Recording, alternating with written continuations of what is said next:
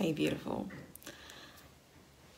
Today, I want to talk about not letting your skin condition dictate how you want to live your life.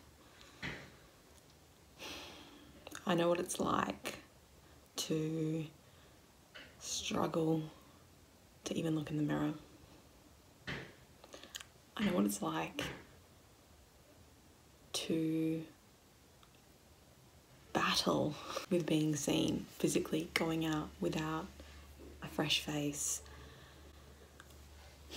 It's tough and I get it. I know when I was on the decline, as my skin was getting worse and worse, I was so desperate to find an answer. I was so angry with myself. I was frustrated with myself, how I looked. There are degrees of self hate. and I know that's a strong word, but it's true. If you want to change you, there is a degree of self hate. There's a difference between wanting to grow and not accepting who you are, what you look like, and where you're at. Huge difference. The thing that I've found the most heartbreaking when I hear beautiful people like you tell me that their life is ruined, they can't do this, they can't do that, they sacrifice their career, their relationships, they put off all the things that they want to do, be, and experience in life because of what they look like. Don't let that be you. When I was on my decline, I started to do less.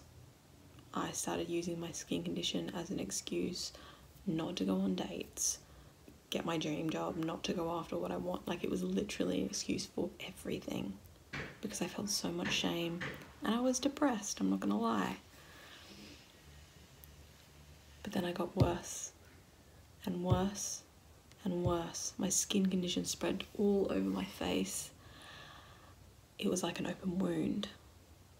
I couldn't wash it. It was filthy.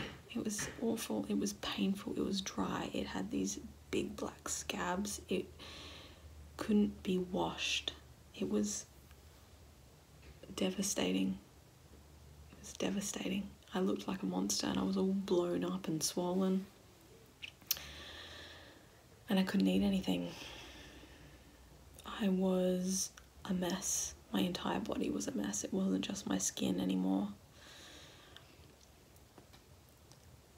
And then I looked back at my mediocre skin only a few months earlier and I thought, if only I could look like that. What was devastating to me three months earlier was now a dream. we could always be worse. And now, whenever I catch myself using my skin condition as an excuse, I stop and I go, Look how far you've come. Look how beautiful you are. And the truth is, loving the skin you're in is the key to clearing your skin. Don't wait. Being seen, doing what you need to do is the key. Tell me, do you want to wait for hindsight to give you perfect vision of how beautiful you really are? We'll see it now.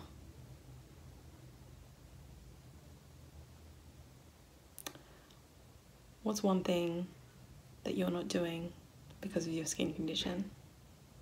Let me know in the comments below and do it. Commit to a date and time you're going to do it. If you decide that you want to love your life and you want to be everything you want to be, you are so much more than your skin condition. Like, what the fuck? You're so much more than what you look like. This is bullshit, this idea that we are less than because we like look a certain way. It's just like racism and gender biases. It's bullshit. all of it. It's all surface level stuff. That is not who you are. So commit today to doing whatever it is you have been putting off. I love you. Mwah.